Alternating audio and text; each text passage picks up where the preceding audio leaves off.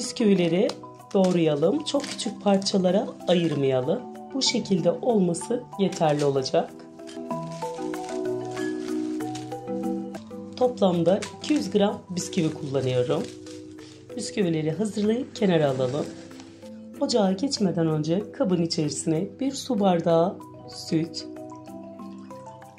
3 yemek kaşığı şeker, 2 yemek kaşığı kakao, tepeleme olsun, 1 tatlı kaşığı nişasta, malzemeyi karıştırıp ocağa geçelim.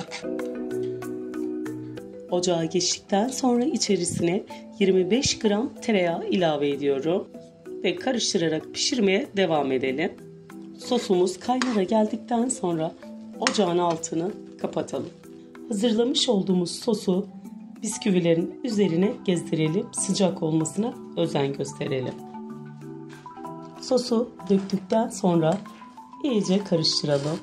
Videomu buraya kadar izleyip bana destek olduğunuz için sizlere teşekkür edebilmem için beni nereden izlediğinizi söylerseniz çok memnun olurum arkadaşlar.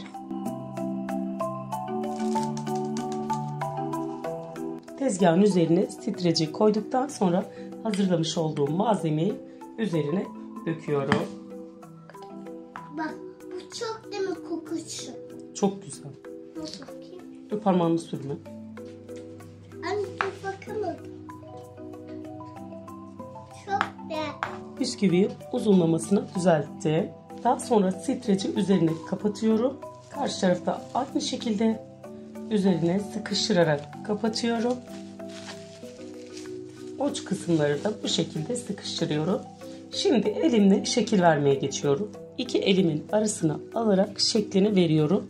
Bu şekilde yapıp hazırladığımızda kestiğimiz zaman üçgenler elde etmiş olacağız. Pastamızı hazırladık. Yarım saat dolapta dinlendirelim. Bu arada da sosunu yapmaya başlayalım. Üzerine sosu için bir su bardağı süt, 100 gram çikolata, bir yemek kaşığı nişasta. Sosu için sadece bu üç malzeme yeterli olacak. Ocağa geçip eritmeye başlayalım. Çikolata eriyene kadar iyice karıştıralım. Çikolata eridikten sonra ocağın altını kapatalım ve sosumuzu dökelim. Çikolatayı erittikten sonra içerisine 50 gram ince kıyılmış ceviz ilave ediyorum.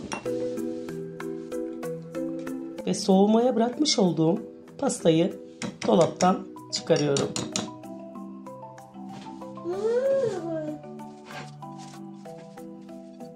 Streci çıkarmıyorum. Hazırlamış olduğumuz çikolatalı sostan üzerine döküyorum. Ben sütlü çikolata tercih ettim.